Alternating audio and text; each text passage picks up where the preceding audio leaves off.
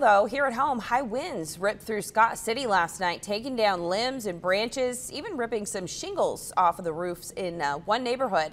Uh, members of the Scott City High School football team joined in to help homeowners clean up the mess that these storms left behind. We caught up with several of them as they picked up debris on Yale Street this afternoon.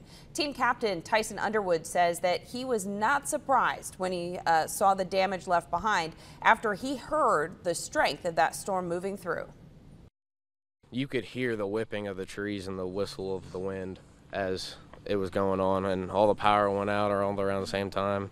Uh, probably about 10, 10 o'clock last night, 10, 15. But yeah, it was it was scary for a little bit.